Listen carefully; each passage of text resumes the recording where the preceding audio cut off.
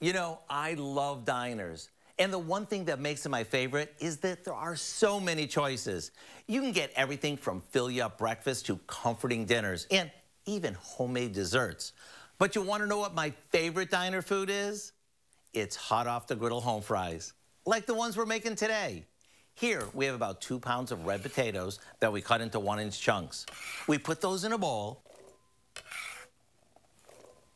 and add a couple of large onions that we chopped. To give this this authentic diner flavor, we toss this with some paprika, garlic powder, salt, and black pepper. Now, just like they do at a diner, we cook these in a large cast iron skillet or on a griddle with a bit of vegetable oil.